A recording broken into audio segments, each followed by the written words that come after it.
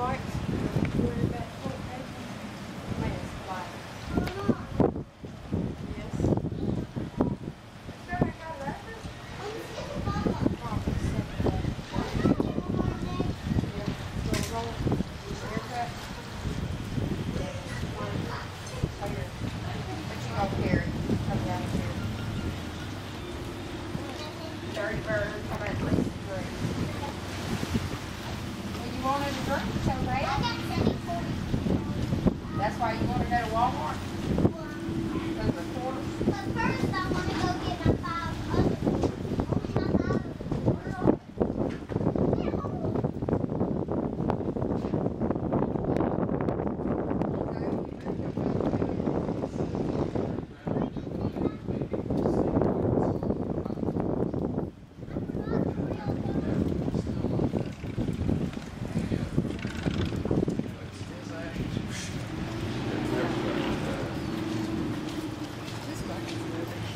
Thank you.